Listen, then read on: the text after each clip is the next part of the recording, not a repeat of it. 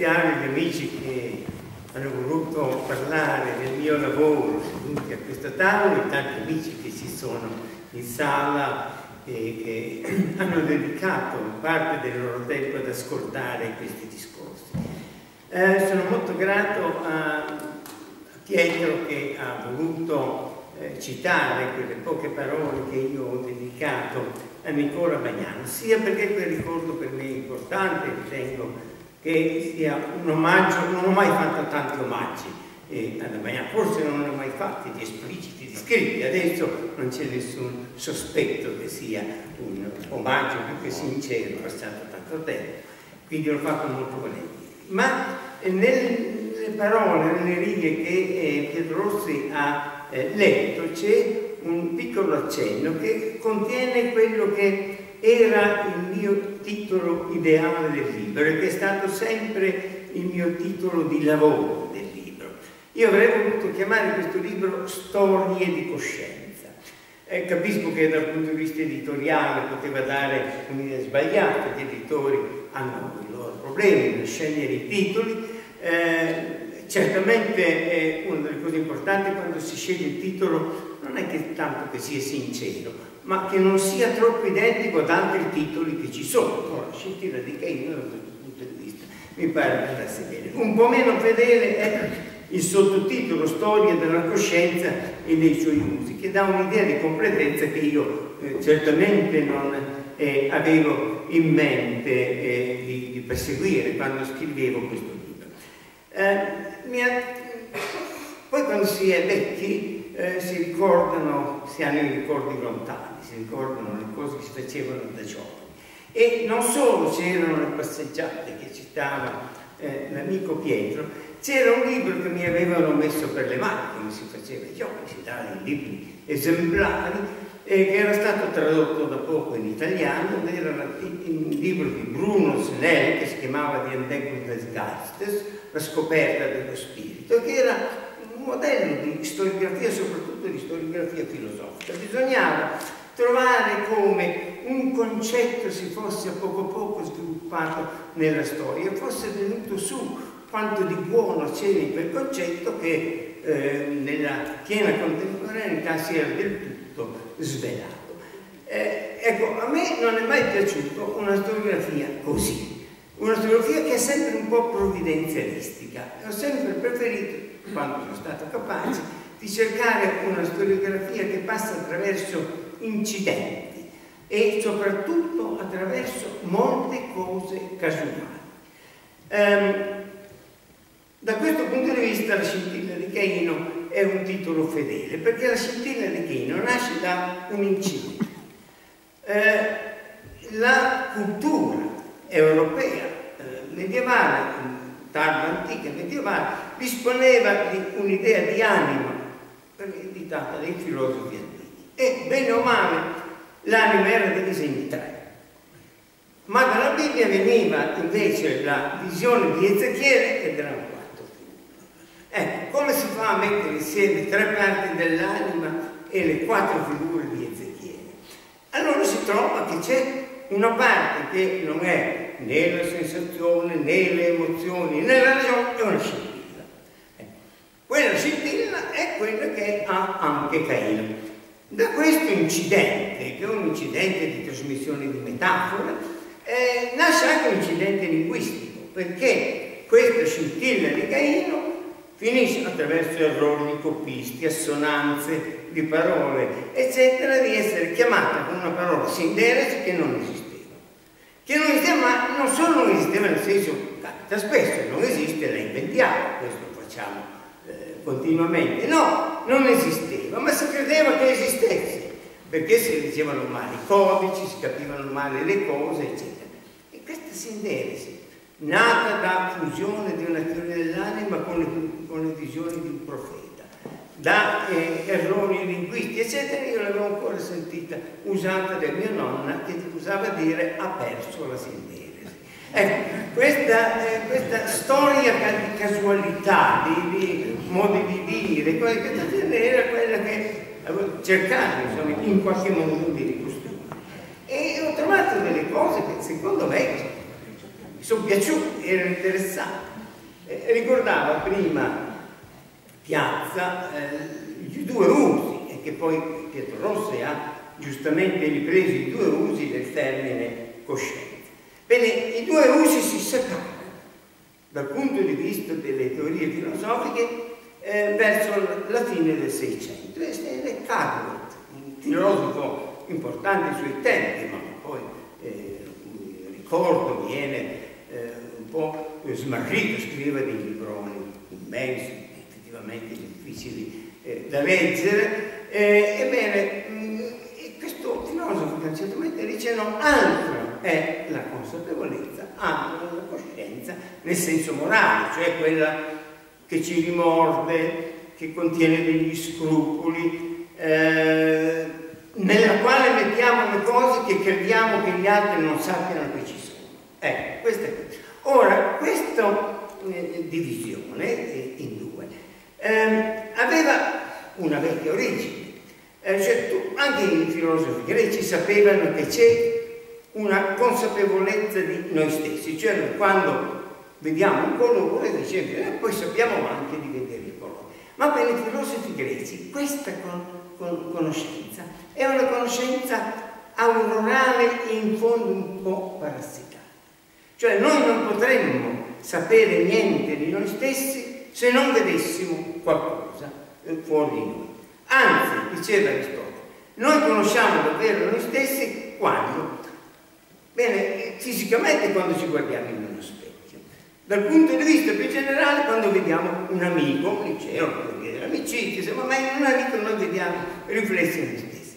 Chi è l'unico che non ha amici e che vede solo se stesso?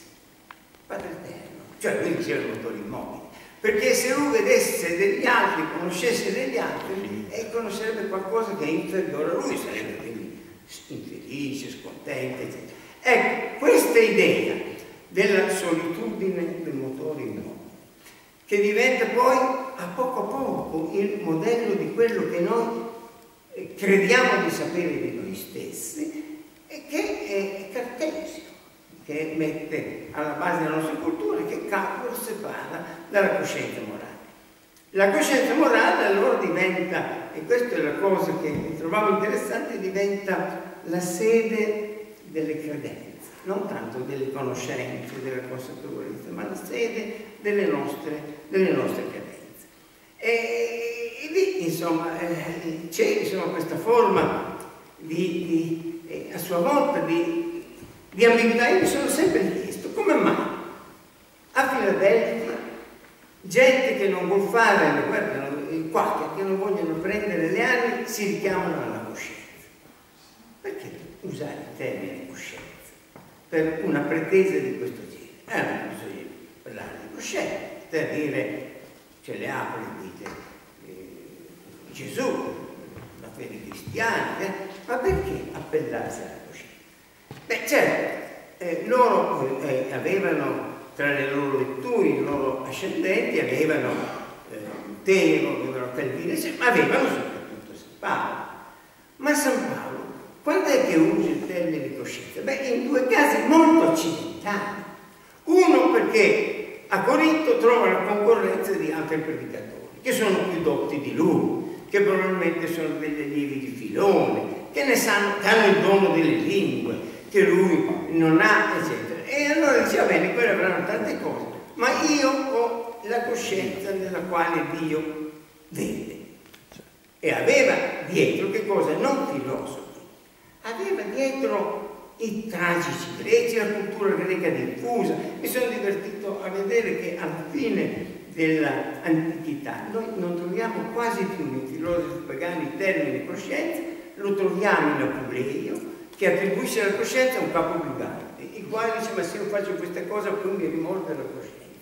Cioè ai filosofi non rimordeva tanto ai capi briganti sì, Ecco, questa, eh, questa eh, collocazione casuale e inaspettata della coscienza è quella che permette di costruire questa storia. L'altra occasione che dà San Paolo, che Paolo di usare il piano coscienza che c'erano degli ebrei convertiti che però non volevano mollare i loro tabù eh, alimentari.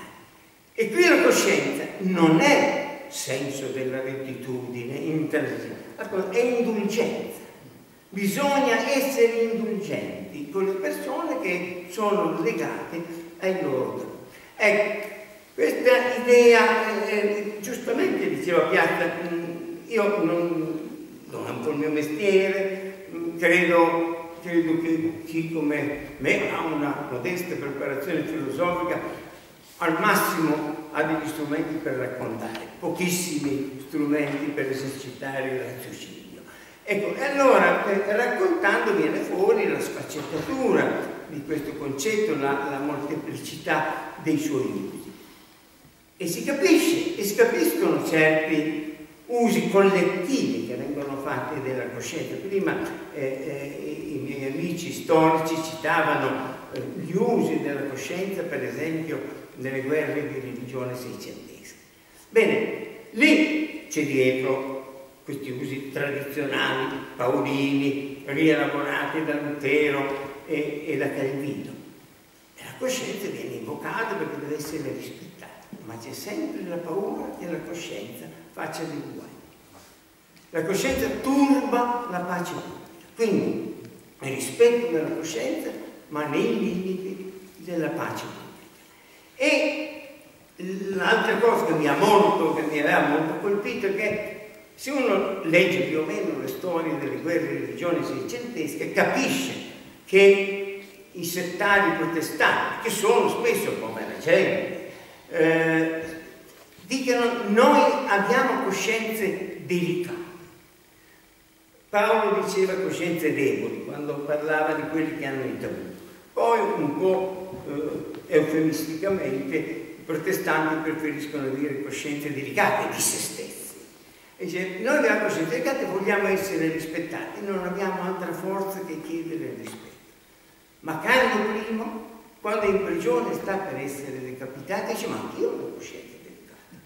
Sarò un re, ma ho una coscienza delicata, dovete rispettare la mia, perché io rispetto la vostra, ma voi dovete rispettare la mia. E la coscienza di re ha grandi responsabilità che non esimono però dalla sua delicatezza. Ecco, queste ambiguità della coscienza che sono presenti nei movimenti costituzionali seicenteschi e che sono presenti nei coloni americani sono sempre legate all'idea che però se uno tiene in ballo la coscienza si rischia di turbare la pace pubblica, al punto tale che probabilmente i costituenti americani non parleranno più di coscienza. Madison eh, eh, dirà ma la coscienza è qualcosa di superiore alle stesse leggi di natura, di superiore ai nostri diritti, un modo per esorcizzare questa cosa che faceva un po' paura.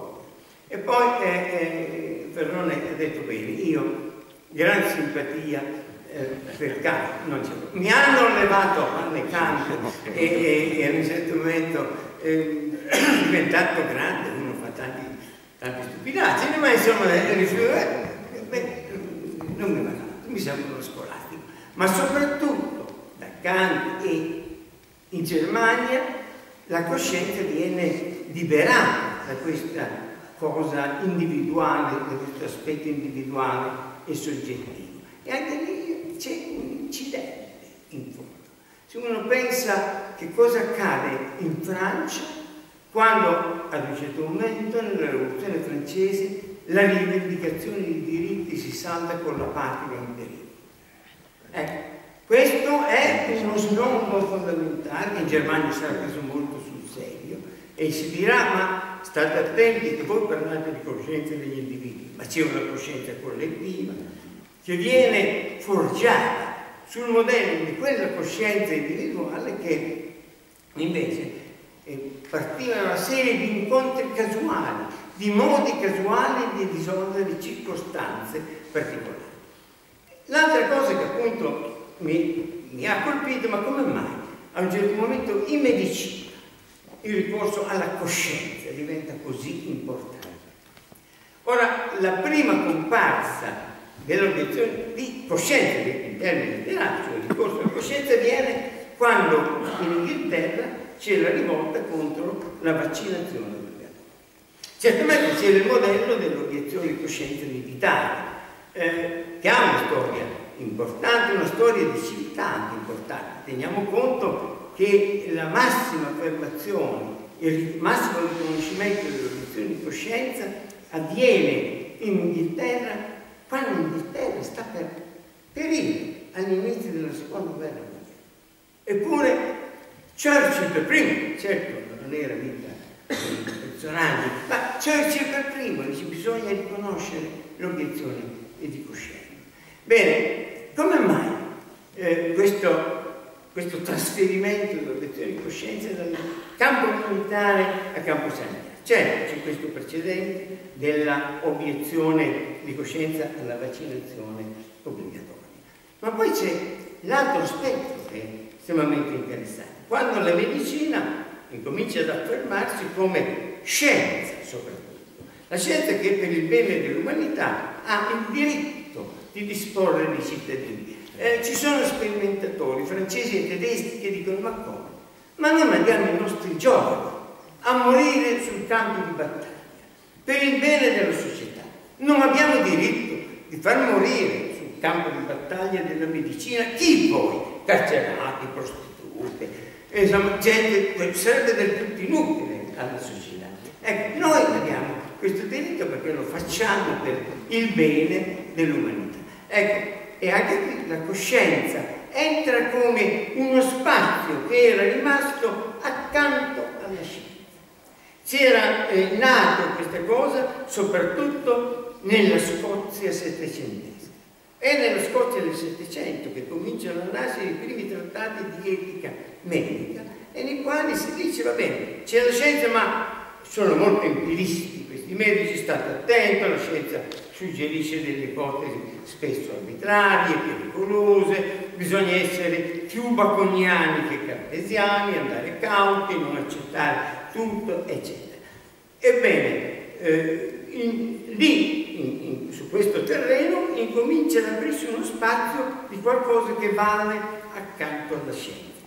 Questo qualcosa che vale accanto alla scienza prenderà il nome di coscienza, soprattutto in Francia, quando la grande ricerca, la caccia alla sifilide, che tra l'altro qui a Torino ha avuto degli episodi assolutamente impressionanti, un caso Sperino, eccetera, ma che in Francia ha portato a a una discussione estremamente interessata sulla natura del metodo sperimentale, eccetera, si comincia a dire, fare questa semplice obiezione, ma voi che infettate delle persone, senza essere sicuri che, eh, queste, eh, che queste persone riescano a superare il male che non avete un rimorso di coscienza.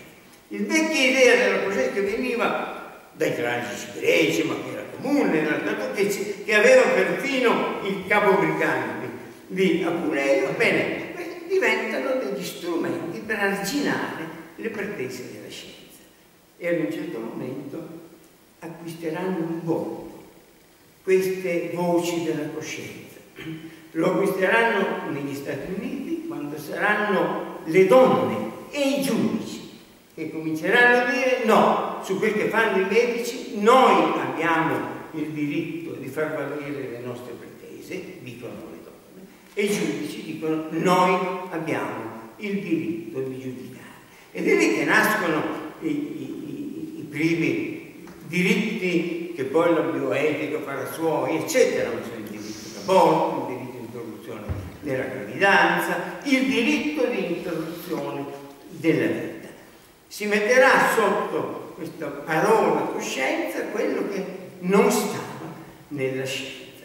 Eh, poi però siccome così, al contrario di quello che mi avevano insegnato a giovani, ci sono dei concetti fondamentali che questi crescono un po' nella storia, poi si affermano, eh, sono, oh, i loro sapini, eh, edificanti dicevano problemi eterni o dottrine eterne, gli altri dicevano però conquista dell'umanità, anche questi si corrompono.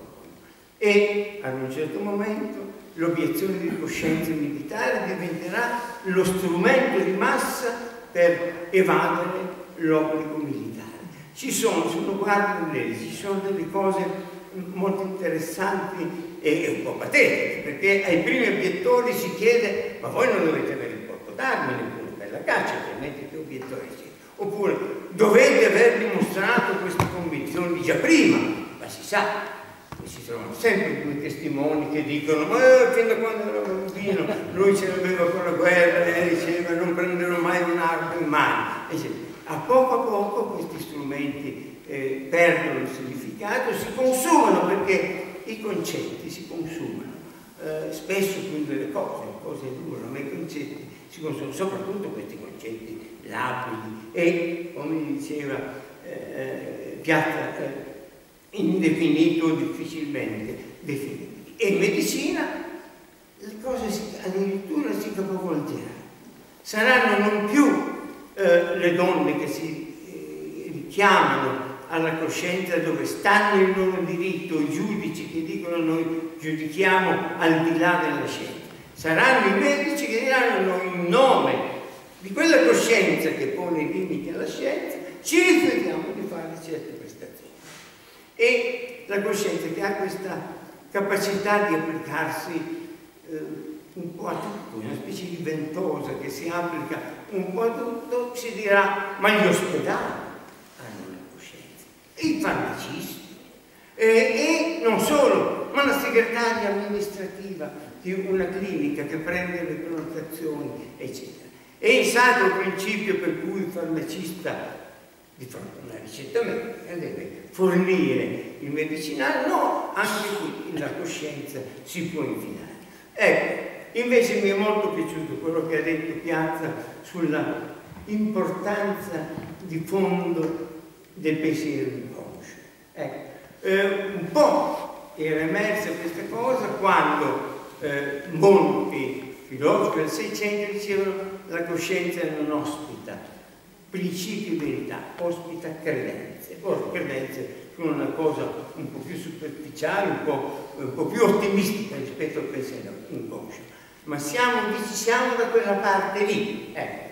E in fondo quelle che a noi sembrano le decisioni razionali, le alternative ben presenti, e spesso sono cose che vengono a cose fatte, quando già le nostre decisioni sono state prese. Ecco, quell'idea che la coscienza se ha qualche contenuto ha scrupoli che sono autentici, ma spesso hanno gli scrupoli peggiori dei delinquenti, a bugie. Io in coscienza sono assolutamente tranquillo. È una cosa su cui si mette le mani, mettono le mani sulla coscienza, nessuno la nega, qualche volta si confonde la coscienza col portafoglio, ma fa niente, insomma, è la coscienza è una cosa su cui si mette le mani. Nessuno può scandagliare ogni coscienza, è vero, ma non è detto che si trovino delle cose edificanti, scagliando la coscienza, scandagliando la coscienza. Ecco, la coscienza comincia allora sottrarsi ai tentativi di utilizzazione e di definizione.